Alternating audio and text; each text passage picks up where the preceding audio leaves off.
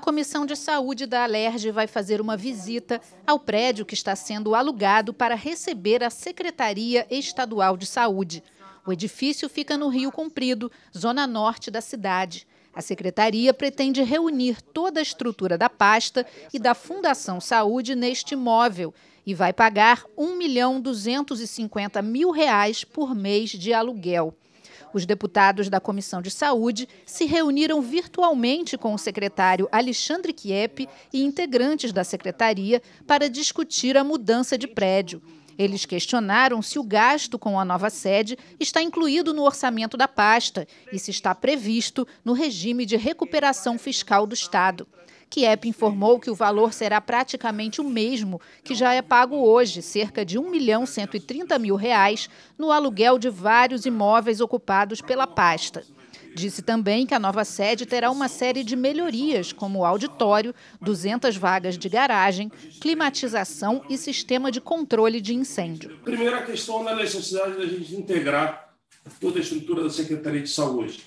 Apesar hoje da gente ter é, algumas facilidades de, de vista de, de, reunião remota, é muito difícil a gente hoje estar longe é, de algumas estruturas que para a gente são fundamentais, que a gente precisa, às vezes, interagir muito rapidamente, como, por exemplo, o Programa Estadual de Transplante, a Central de Regulação, é, o SAMU, é, o Arquivo Geral, que tem outro prédio alugado, é, e principalmente na Fundação é, é Saúde, além da estrutura administrativa do Ananeri. Então, são todas estruturas que ficam fragmentadas por diversos locais do Rio de Janeiro. Os deputados também perguntaram por que a nova sede não pode funcionar em um imóvel público.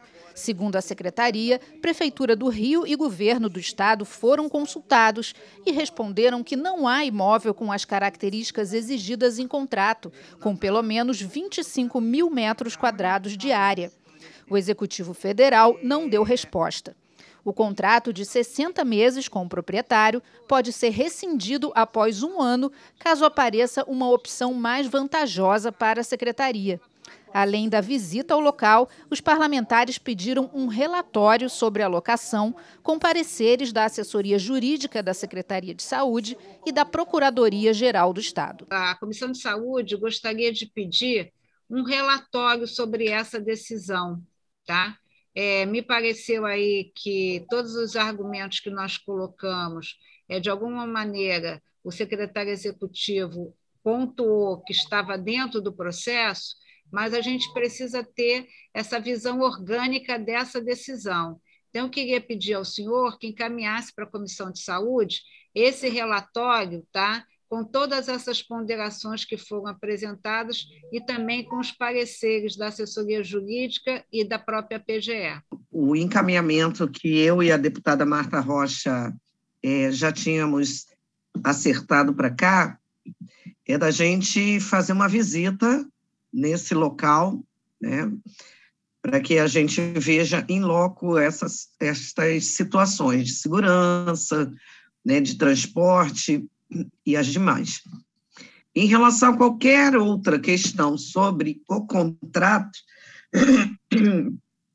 é, eu acho que todos os advogados, é, o advogado do nosso gabinete, da, da Comissão de Saúde também está debruçada e analisando todo esse contrato, né?